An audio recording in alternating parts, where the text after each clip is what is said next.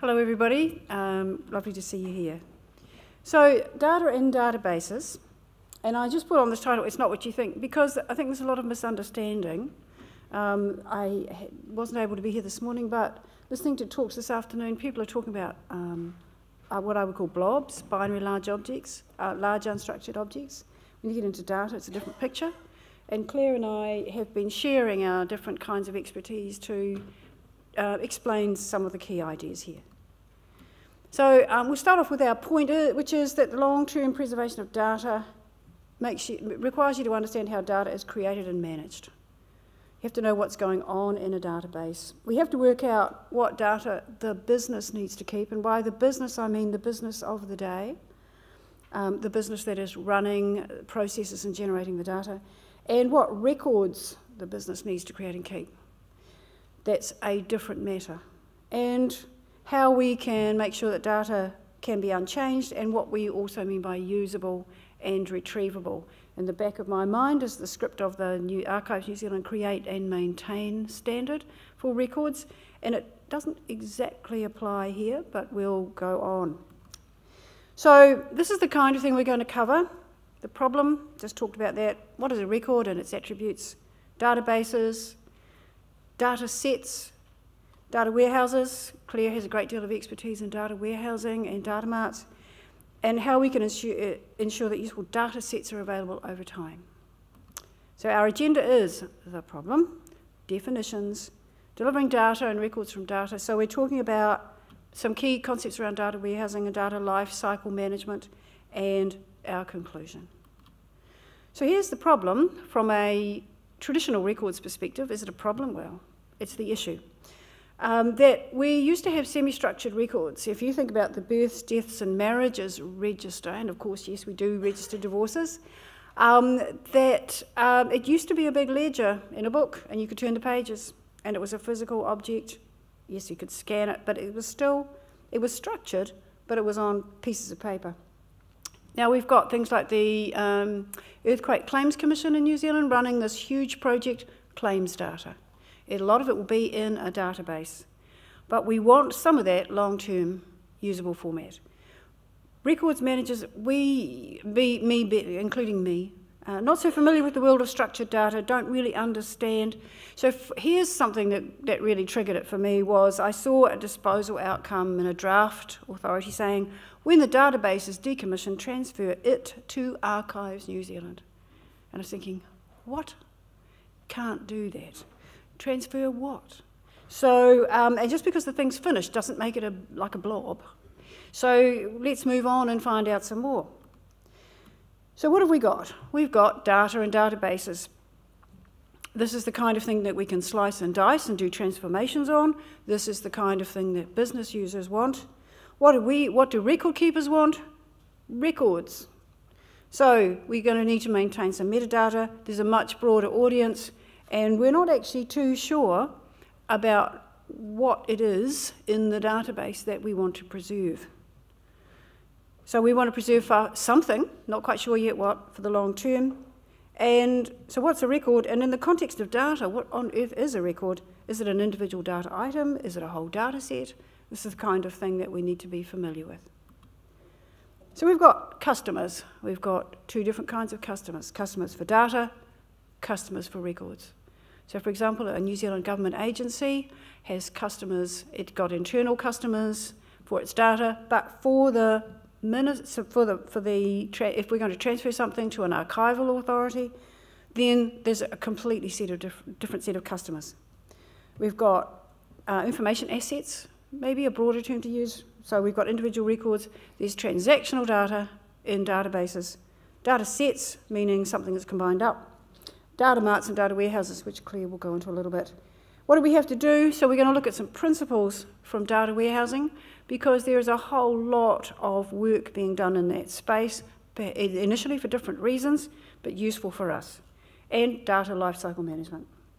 So some definitions. The, the Public Records Act of 2005 has this definition of a record. Any form, whole or part, created or received. If you look in the structured world, what does a record mean? It's a line of data in a table in a database. Now, there's not much in common between those two, a huge difference. So, attributes of a record from a record keeping perspective. By the way, um, this guy, he's uh, in New Orleans and he is carrying out of his house his vital records above his head. So, um, record keeping perspective documents the carrying out of the business objectives, functions, and services, and so on. Evidence of compliance documents the value of things uh, and how risks are managed, supports the long term viability of the organisation. From a data management perspective, we're talking about field types. We've got numeric, character, date, and time kinds of fields. Composite, meaning that we might combine data from different places to create a set of data and derived meaning that we might do something like a calculation. So date of birth, current date, therefore age. That's the kind of thing that we mean by derived. And then the values that are actually sitting in the data. So um, Adam Brown, Adam here? No, uh, from Statistics New Zealand, but he was writing about um, wanting to broaden the scope of the um, core standard ISO 15489 that record keepers use. And he said this there's a different relationship between data and its metadata and documents and their metadata. And we'll go into that a little bit more. Is it data or is it metadata? All about the layer. So if you're looking in a data table, so for example, in here, here's a date, date created, it's just data. But if you're talking about the date a document was created, or the date maybe that a database was created or some other object that we describe from the outside, then that's metadata. Any, over to Clare. Now, in the interest of public health and safety, I feel I should say that this presentation does come with a warning that Trish is from the unstructured data world, I am from the structured data world. So whereas she thinks in pictures, I definitely think in lists. So we haven't actually come to blows over this presentation, but it can't guarantee that won't happen. So metadata within the data warehouse environment, I expect to see two types of metadata. On the one hand, you've got business users, they want something at a higher level that's going to tell them, you know, like a A to Z of London, a roadmap for access. Whereas your technical users, what have we got? How did it get there? How do I maintain it, update it, and all the rest? Wrong button. Oh, yep, no, there we go. And so business metadata users, they're wanting, you know, what's the table, what's the field, how can I use it, what's it mean, how, what's the summarization, what's the business rule, how do I interpret it and, pr and produce something else with it. Whereas technical metadata, you're looking at, you know, your tables, indexes, job dependencies, uh, execution, audit, security, that sort of thing. Used to be, we said we had, you know, one byte of megabyte, amount, sorry, one byte of metadata for 10 bytes of data, but now really it's, the situation has reversed. This is data. It's just not very useful unless you've got some way of interpreting. How do I read that file without a header to tell me how to pick out a name? If I've got a name James, is it a first name? Is it a second name? Is he a customer? Is he a supplier? What is he? So you need to be able to read and interpret that data in order to get it into a nice, neat table. There's my record, a row in a table or a data set. Now that's nice and neat. It's got names that you can tell what they are, but you might have a, data, a table called T1 and every field is called F1, F2, etc. Now that table or data set may be part of a larger database and within that database you have your relationships, your keys, how to link those tables. And if that database is then part of one of your standard source system applications that run your business, then you're going to have, as well as that database layer of data, you're going to have all the application that's, that, that makes it work as a system, and then you have your user layer or uh, uh, for access on top of that. So this is a diagram that I drew, which said data layer and application layer. And you can see that uh, the application layer is doing a huge amount of work. It's manipulating what's in there. It can be um, deleting what's in there. And it provides those views and reports that we think of or that the user thinks of as the data. But down the bottom is just the, the data and tables being acted on. And that's why you can't transfer a database, because unless you can move the application layer over as well, then you just back down to those data and tables. Can data fit the definition of a record in the Public Records Act? Well, we say we are format neutral in the management of records, so we need to just um, harden up here and get on with it. Uh, data can be records because if you, for example, lost, if you excluded the births, deaths, and marriages data and the EQC claims data, think about what you would lose. You would lose a huge amount of um, important information. And what is the impact in the future of not being able to access that information? So we have to get in there, roll up our sleeves, and get hold of what we need.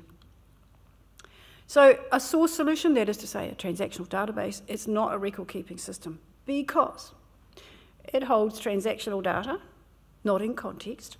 It isn't tamper proof. It's really hard to know actually what's going on down in that bottom layer, what, what the application layer is doing to the data layer. And things may be arranged differently. It's hard to roll back to a point in time, often in, the, in these databases. Maybe not in the financial ones, but in many others. Uh, a database, a transactional database, has to do a lot, many, many quick transactions, and to do that, it overwrites and removes redundant data. So there is no sense of keeping what was. If it's not needed, it can go. Uh, compromise of history versus speed, and it's the business that will win every time on that one. And you can't use that data layer without the application layer. So everything is ephemeral, here today, gone tomorrow. So an activity about a customer is a record. Was there a unique ID for the transaction or for the customer? Where are the pieces? We're looking for table names and column names, and standard names for elements across tables would be nice, but not always, and certainly not between databases. So here's my list. So you can see a source system or a transactional system, lots of very quick transactions uh, with lots of users on that system. That's the nature of those, those systems. And try as I might, I mean, if I'm lucky, I'll get people when they're building those systems to build in the feed to a data warehouse that system is not designed for the kind of activity that you're going to do on a data warehouse. And certainly as a data warehouse person, I would have no input or minimal input into what the design of these source systems might look like. So here's our data warehouse. And well, what have we got here? In the terms of a definition, used for storing and accessing large amounts of data, it has an enterprise-wide approach with all your core systems. Well, that's what it should have. Having said that, there's a lot of things out there that are called data warehouses that may or may not actually be one.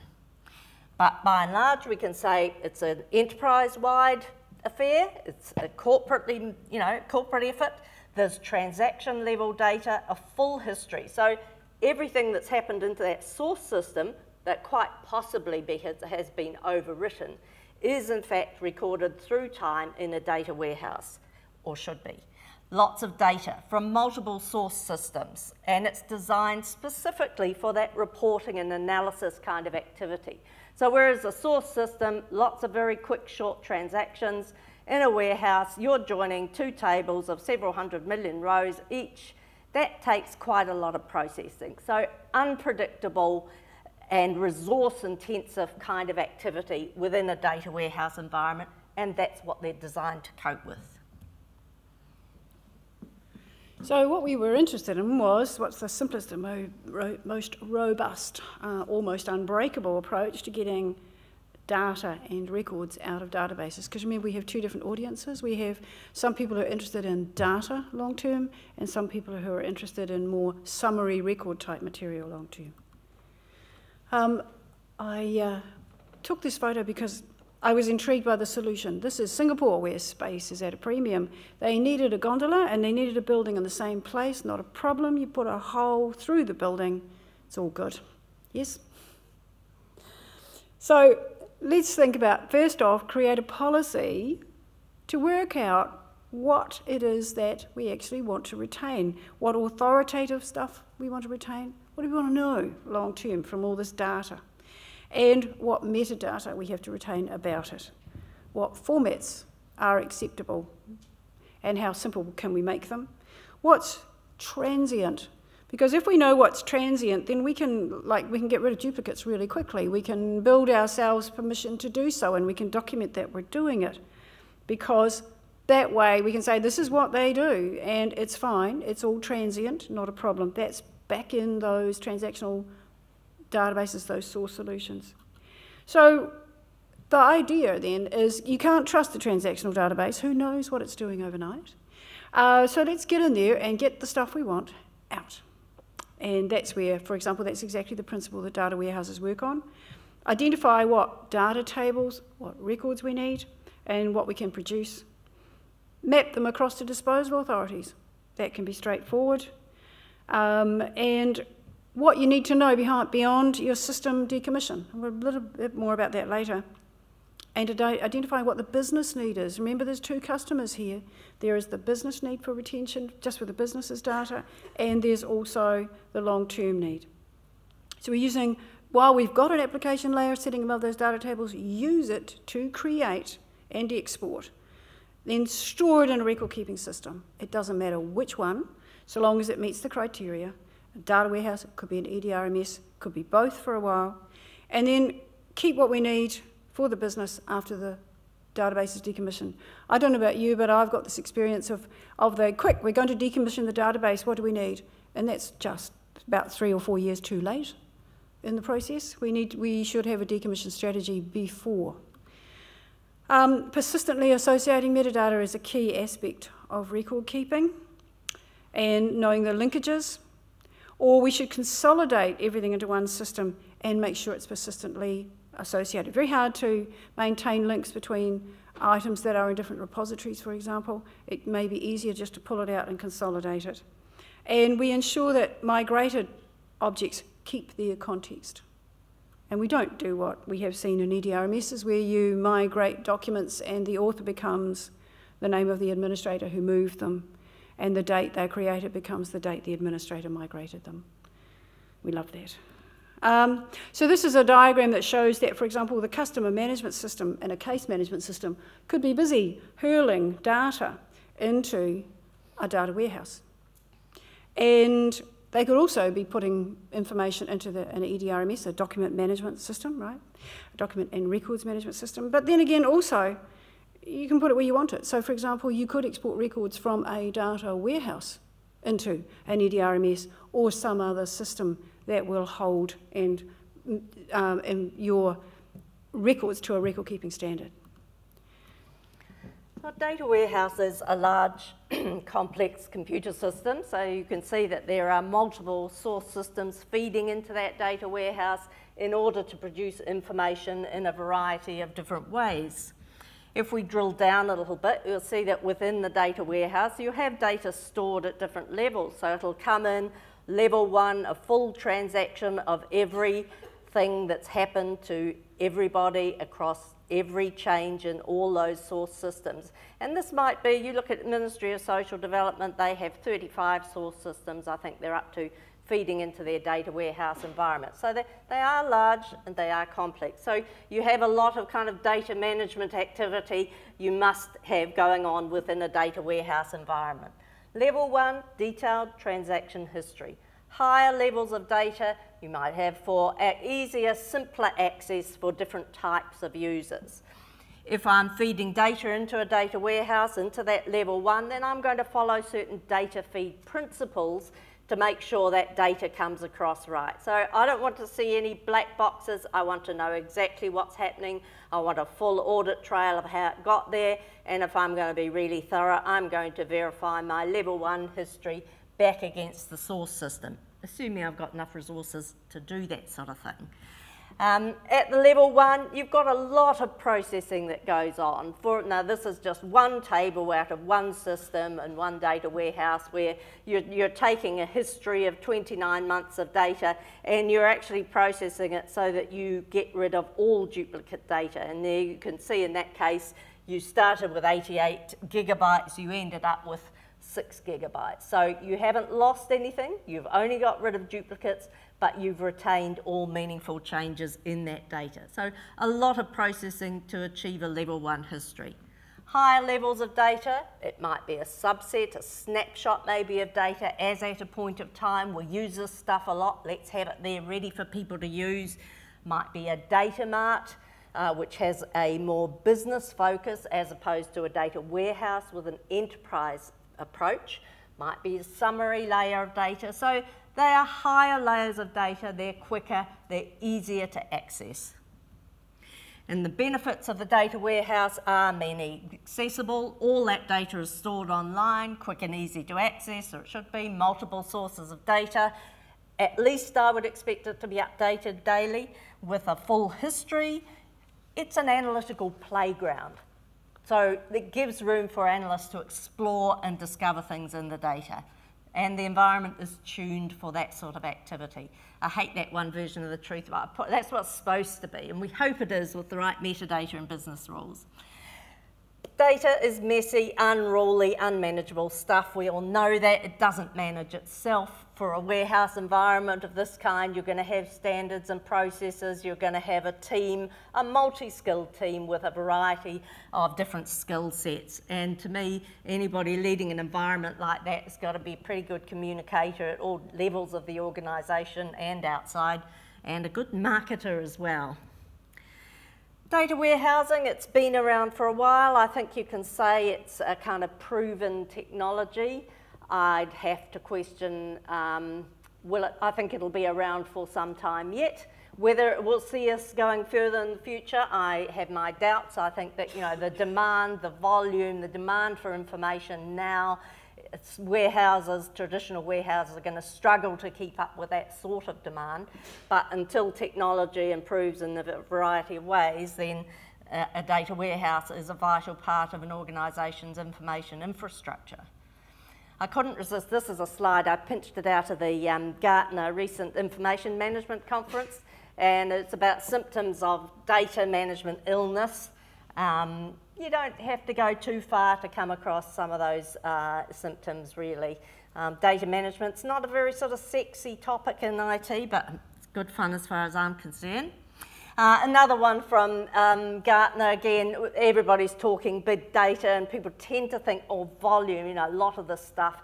But it's not just about volume, it's velocity as well. If you think about, you know, smart uh, meters that are going in, which are sending data all the time, you know, you're getting a huge explosion, so it's the speed of that stuff coming in.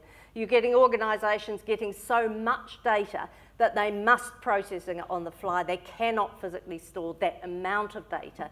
So these are all, and the complexity, the different formats that, that we're getting data in. So there are huge challenges, and these challenges are now coming into my structured world where we're taking more unstructured data into the data warehouse environment and, and recognising that all the other kind of data is a vital part of the overview of the information of an organisation. The um, market statement down below, again, that's a Gartner statement about um, data doubling and needing to determine your strategy. Just another point too about information strategies. Often I see information strategies being written in an organisation either by somebody with a records management background or by somebody with a business intelligence or data warehousing background. So to me, an information strategy should be about managing the whole lot. The other challenge that I see is about this need to work together, and we tend to think of IT and business. But also, I look at quite a few organisations where they'll have under one manager, they might have business intelligence, data warehousing, records, library. So they're all there, under one manager, but they're all completely working in separate um, silos of their own. So I do see this need for a structured and unstructured um, data management to be coming together. Okay, so um, just looking at the time, we'll box on. Uh, talked a little bit about decommissioning. The transition from one system to another is the, always the greatest risk to the information that was uh, in that system and um, you often get partial exports and you also lose um, the, or the authoritativeness or you, um, you, you damage, lose some of the context as you move it over. So that was just pointing that out. Um, data lifecycle management is about managing it, managing data and metadata across systems and repositories, right through to when it can be discarded. And it talks about that the business value is not necessarily about age or how often it's used. We need to understand business value better. Um, so, data and information has different kinds of value strategic and operational, managing risk, meeting legislative obligations. And the value of much information decays over time, but not all. Some can be archived, some discarded. We need to know which. And also, just that point at the bottom, kind of quirky but rather nice, that just the thing you, you thought you didn't need, you might need, and you don't know quite when you're going to need it, but you might need it fast. Uh, here's some components, just a, the, sort of a, a classic kind of cycle going on here create, modify, maintain, use, retain, or dispose. Notice the point up there um, that the first part includes data validation. So there's just a whole thing here about what is required, about knowing your artifacts, knowing your risks, making sure that you've got um, the right tools in place to know you've got a single source of the truth, you've got your storage under control, you've got planning for disposal, and then that you actually can dispose of stuff or move it to storage or whatever you're going to do, but in a managed way. So, in conclusion, um, I thought I'd go back to the Archives New Zealand create and maintain standard and its principles and give them a run past this one. So the principle one is high level and doesn't really need to be applied to an individual system. It's more about the organisation. Does it have policies and procedures? So, well, yes, you can do that at a high level, okay? Probably, you'll probably feel quite comforted at that point. However, moving into principle two, and so we just sort of did up a bit of a chart here. If you've got a database, are the functions and business activities identified and documented? Well, probably. In a data warehouse? Maybe. Depends on what you're doing. Um, are the records of, are, are, they being created in a database? Possibly. Data warehouse gets a sort of a 50-50 on that one. Um, are all the records being created routinely? Not into a database, possibly into a, a data warehouse. And is training provided? Sure, it could be. Not a technical issue. Looking in this, the picture becomes a little clearer for principle three. You can see that the database is not performing that well. You can get some accurate and authentic stuff in there, but it's the data warehouse or that kind of um, groomed system where information is transferred in and there's no change going on to it and it's looked after and it's well described, so it gets the ticks and the boxes. And the same thing happens for principle four. And the only thing that happens down the bottom, really, is that data warehouses traditionally do not apply disposal. They keep everything because of that odd, quirky chance that we talked about, where people might want stuff occasionally, some specific information. So it's there because you never know. So, talking about the record, record keeping capability of systems, we're interested in can we assess them? Are they capable of record keeping? Because if they're not, we have to make them capable or we have to move records out. And for a transactional database, a source system, basically we are talking about moving them out. Get them out, herd them up, move them on. Um, who makes that decision? Well, it's the business owner in conjunction with IT and the records keepers. And the data warehouse shows us what can be done and how to do it. So we're not trying to say put everything in a data warehouse. We are saying they show you how it's a good model of practice um, of principle-based management of information.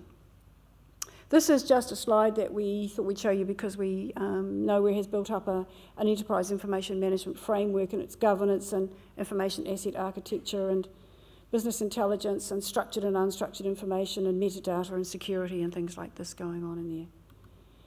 Future state of data is what we want, trustworthy, where it's needed, in the format that is most appropriate, formats, sorry, plural, appropriate to business need in the future, and they might mean two different things.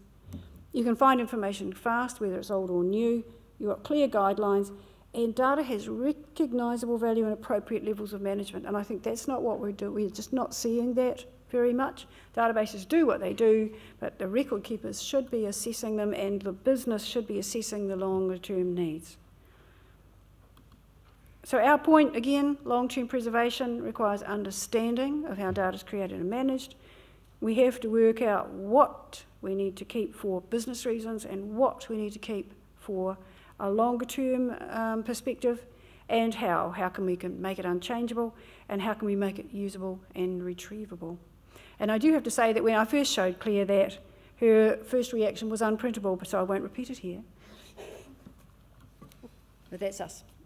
Thank you.